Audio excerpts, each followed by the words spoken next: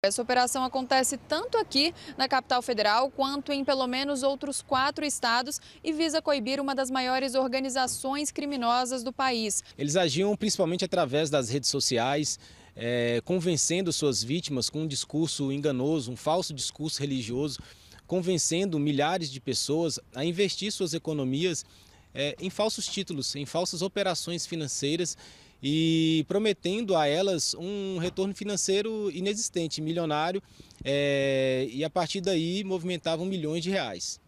E eles falavam o que para essas vítimas? Que esse dinheiro que elas estavam investindo seria para uma empresa, que elas teriam esse retorno, um valor multiplicado, triplicado?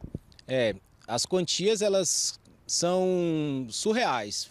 É, dependia, o valor inicial do aporte dependia é, de cada suspeito. Então, uma vítima com a simples quantia de 25 reais, ela poderia oferir aí é, 100 milhões de centilhões de dólares. Então, assim, é, chega a ser é inacreditável que pessoas caiam nesse golpe, mas considerando que eles usam esse falso discurso religioso, é, as vítimas acabam acreditando e mantendo né, é, esse golpe vivo.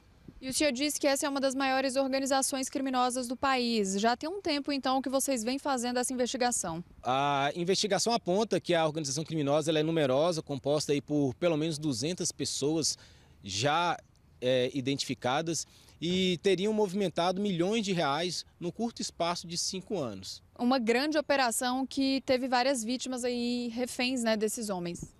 A gente estima que sejam mais de 50 mil vítimas alcançadas tanto no Brasil quanto no exterior, tendo em vista que eles usam as redes sociais e as pessoas que moram fora do país também realizam esses investimentos.